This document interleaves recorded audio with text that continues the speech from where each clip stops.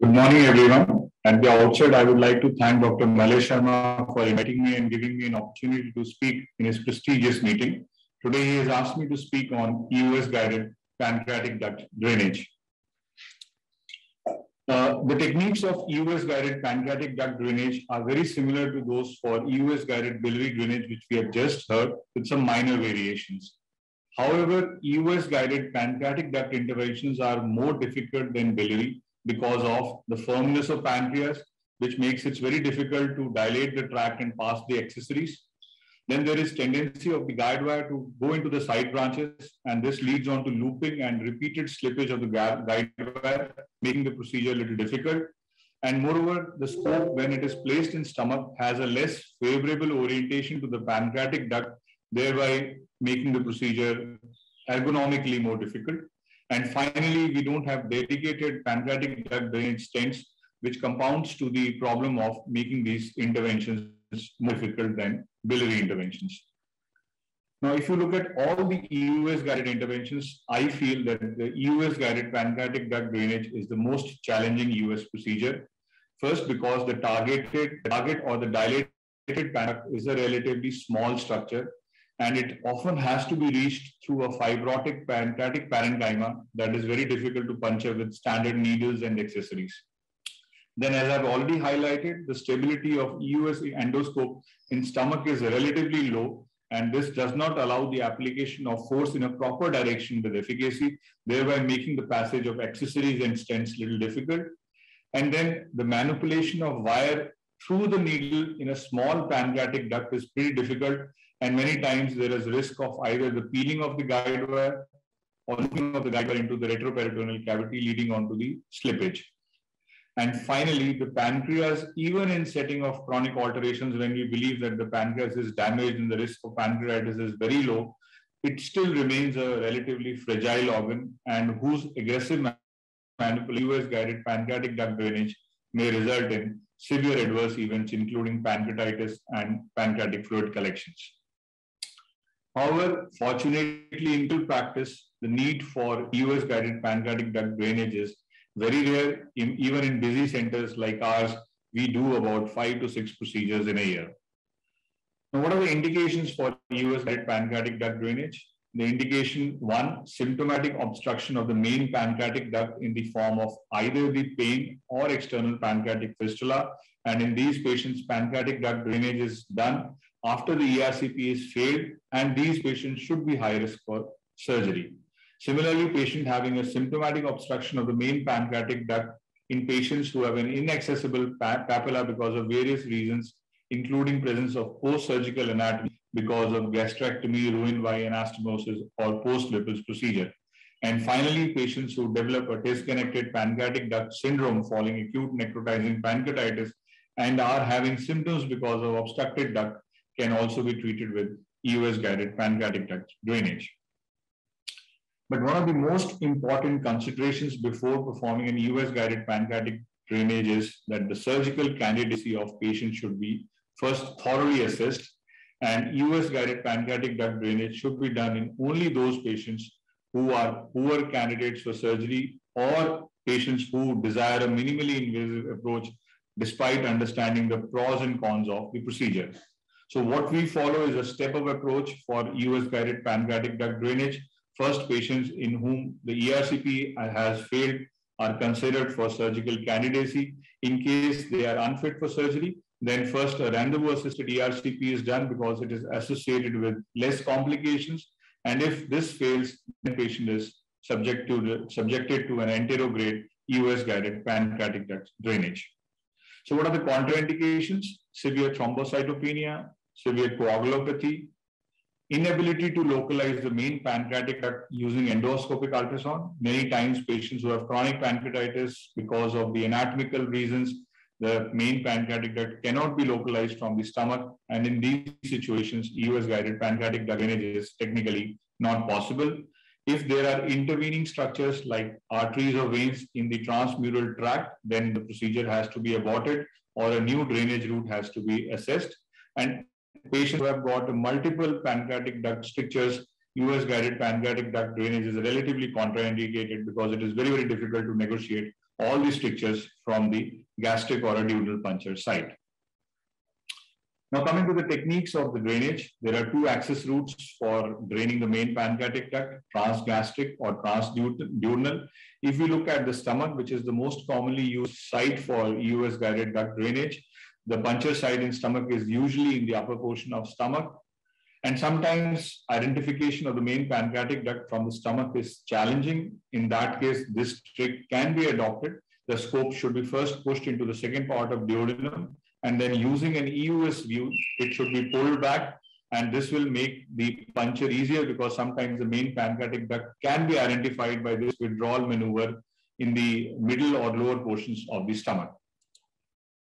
Now, the site of puncture can be decided by the intent. If you, one is planning to do an US guided rendezvous, then the punch has to be done from the neck because this gives a straight drainage route. In case the procedure is US guided duct drainage, then puncture has to be done from the distal body and the guide wire has to be pushed downwards towards the papilla. Now, which needle is to be used? The pancreatic duct can be accessed with a 22 gauge or a 19 gauge needle. The advantage of a 22 gauge needle is that it is easier to puncture even a fibrotic pancreas with a narrow gauge needle. Or even if the pancreatic duct is stiff, then the 22 gauge needle can be used. And similarly, if the pancreatic duct is not markedly dilated, which is less than 5 millimeters, then use of 19 gauge needle is difficult and one can use a 22 gauge needle. However, the disadvantage of a 22 gauge needle is that it can be used only a 0.018 or a 0.021 inch guide wire can be used through a 22 gauge needle. And moreover, the fluoroscopic visibility and the stiffness of a thin guide wire is a question, question when we are draining a pancreatic drainage. On the other hand, 19 gauge needles, which can accommodate a 0.025 or a 0.035 inch guide wire, which is a more stiffer guide wire, can be used to drain a pancreatic duct and place the stent easily. However, if the pancreas is stiff and highly fibrotic, then use of 19 gauge difficult uh, needle is very difficult and one can use a 22 gauge needle. Now, which guide wire to use? There are a number of guide wires available commercially or a 0.035 inch guide wires are used. In our preference, we use a 0.025 inch guide wire with an angled tip because it is soft. It has got a highly flexible tip with a good radio opacity. There is a clear endoscopic visibility also with these wires because you need an endoscopic visibility while placing the stents. There is sufficient stiffness of the guide wire, which allows easy deployment of access for less kinking. So one should use a 0.025 inch guide wire if one using a 19 gauge needle for a puncture. Uh, guide wire shearing can happen at the needle tip because as I have already told that the pancreatic duct diameter is limited. So guide wires tend to coil at the tip of the needle and this can lead on to shearing. So therefore excessive manipulation, especially pulling and pushing should be avoided at the needle tip. And if one has to use a contrast, the contrast should be a half strength contrast. We prefer using one is to one dilution with sterile water because it allows easier injection through a 19 gauge needle in contrast to an undiluted contrast, which is very difficult to inject through a 19 gauge needle into a mildly dilated main pancreatic duct. Now, which route to use, transgastric or transduodenal? So one should have a comprehensive assessment at the time of procedure of the following parameters. One is the puncture angle to the main pancreatic duct, the location of the intervening blood vessels, and the distance of the puncture site from the stricture or stenosis. So after doing a comprehensive assessment, one should either do a transgastric or transduodenal puncture. The advantage of a transduodenal approach is that your scope is in long position, which is a relatively stable position, and it allows a much better view of main pancreatic duct for puncture.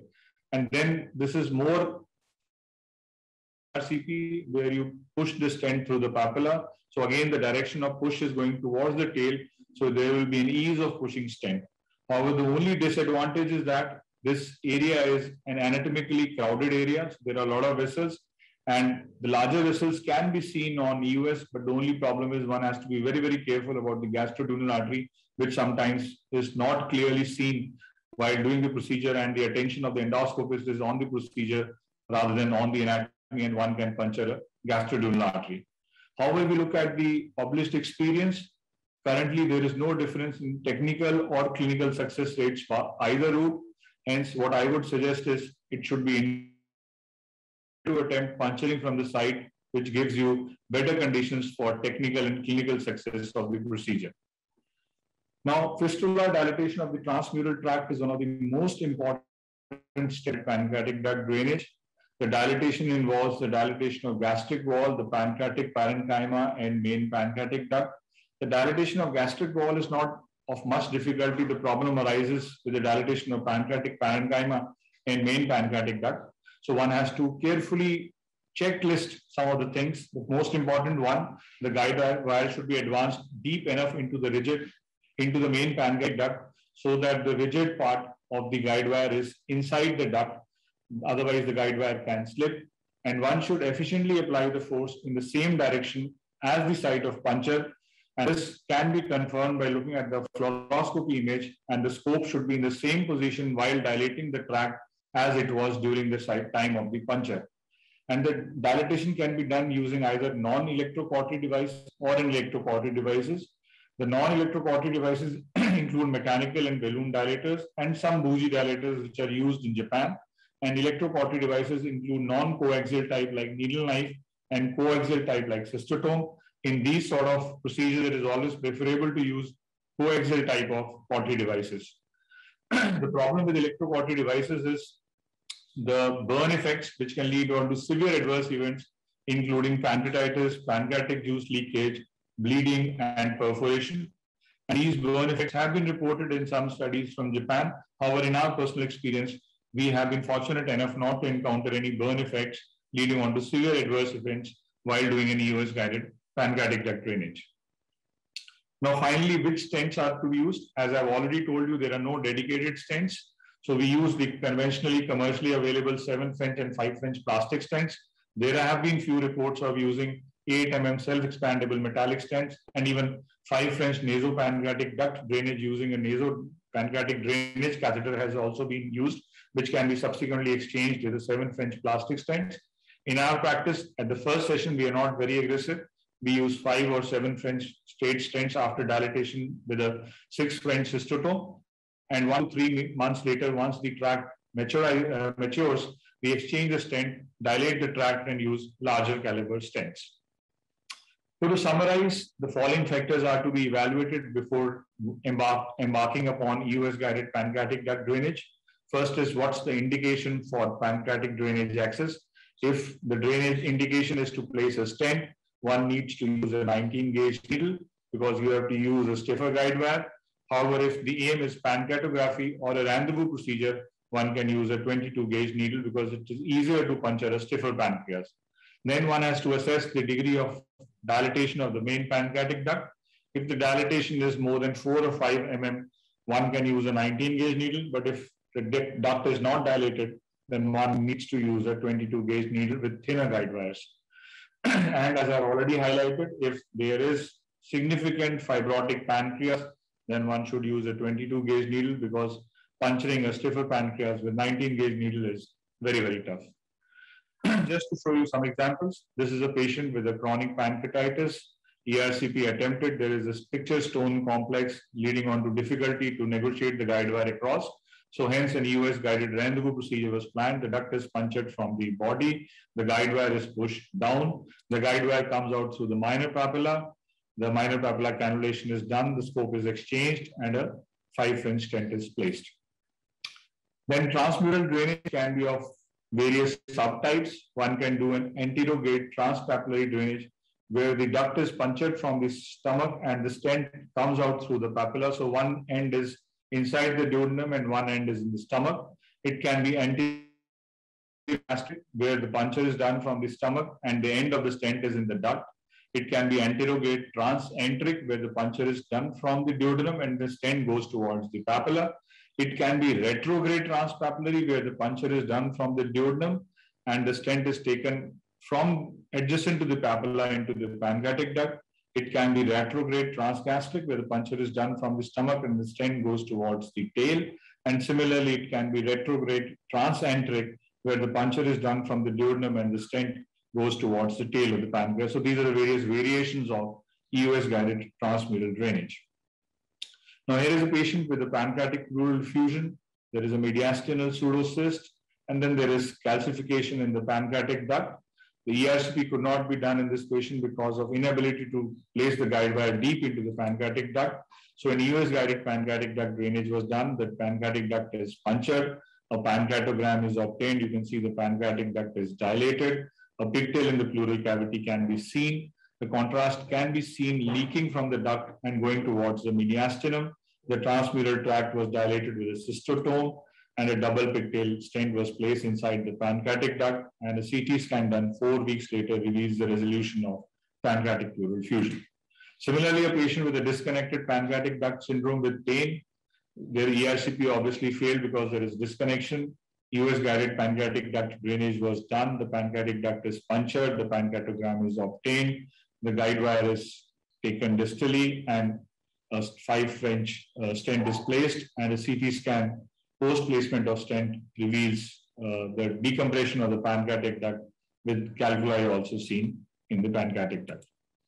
Now coming to the outcome, the studies have revealed varying technical success rates, but the important thing is high complication rate and the tech, pool technical success rate is about 80% and adverse event rates of about 22%, so which is pretty high for a minimally invasive procedure. And it is also important to remember that the technical success rates for rendezvous procedure are, limit, uh, are lower as compared to pancreatic duct drainage because of the risk of slippage of guide wire while exchanging the echoendoscope with an ERCP scope. This is our experience of EUS guided transmural pancreatic duct drainage, which we recently published. It has been done in 12 patients, technical success in all patients, minor complications in three patients, but the only problem is external stent migration, which is seen in almost five patients within three months of the procedures. And this is an important limitation, and that's why there is need for development of dedicated stents for EUS-guided pancreaticogastrostomy. Another use of a pancreatic duct access by EUS is sometimes to remove the proximally migrated pancreatic duct stents. This is a patient in whom the stent had migrated inwards, could not be retrieved using a grasping forceps. Hence, US scope was used. The stents were punctured with a 22 gauge needle, and there, thereafter the sheath was pushed down and the stents could be extruded out of the papilla and thereafter removed with a grasping forceps. Finally, coming to the complications, as I've already told you that this procedure is associated with high risk of complications. Fortunately, in experienced hands, the complication which is commonly encountered is a self-limiting pain. However, rarely you can have significant complications like bleeding, perforation, pancreatitis, and pancreatic fluid collections. The bleeding can be immediate during the procedure. This is especially seen once the transmural tract is dilated, or it can be a delayed bleeding. This happens usually due to formation of a pseudoaneurysm because of thermal effect of the electrocautery. So this is the finally the management protocol for patient in whom the ERCP fails. So first you have a patient in whom the, there is a main pancreatic duct stricture and the ERCP fails and patient is being referred to you for US guided pancreatic duct drainage before you embark upon that procedure. Do a proper pancreatic protocol CT or MRI and carefully look at the pancreatic anatomy, the duct dilatation, the relationship to the stomach and the duodenum, the distance of the stenosis from the site of puncture, and then plan the procedure. But before planning a procedure, one should attempt again an ERCP. This should be done by an expert and if ERCP again fails, and then you assess as the duct diameter. If the duct is dilated, go ahead with an EUS guided drainage. If the duct is not dilated, then one has to look for alternatives, which could be an EUS guided celiac plexus block, or one has to go on to surgery. So to conclude, EUS guided pancreatic drainage is a new procedure which can be considered after failed ERCP or patients who have an inaccessible papilla or disconnected pancreatic duct syndrome However, one should avoid these procedures just as a justification for an incomplete attempt at ERCP. ER should be thoroughly attempted by an expert before embarking upon US guided drainage procedures. It's a very technically challenging procedure with failure rate of around 10% even in most experienced hands and the rate of moderate to severe adverse events is more than 10%. Therefore, I would again like to highlight that novel techniques often bring excitement and enthusiasm but they should not replace a clear clinical judgment. So we should justify ourselves the procedure which we are doing, and we should be doing the procedure which is best for the patient and not the procedure which we can do the best. Thank you so much for your patient hearing.